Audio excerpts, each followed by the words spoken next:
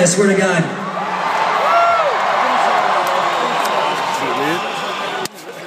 Thank you so much.